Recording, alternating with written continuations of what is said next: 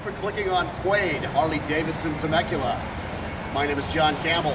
What we've got here, this is an absolutely gorgeous, low mileage 2009 Street Glide. This one's got 2,623 miles on it. That's 2623. It's 2009. It's got the 96 inch cube 96 motor. It's got the six speed transmission. This bike's got a lot of upgrades. It's got the uh, it's black cherry with, I love this paint job. It's red flames with ghosts, skulls, uh, kind of a nice touch. Uh, inter fairings all painted to match. Different windscreen, a lot of chrome trim, a lot of nice little uh, diddly bits and points. It's got the new S&S twin intake on it, floorboards have been changed out, brake pedal. Like I said, the skulls really add a nice touch to this bike.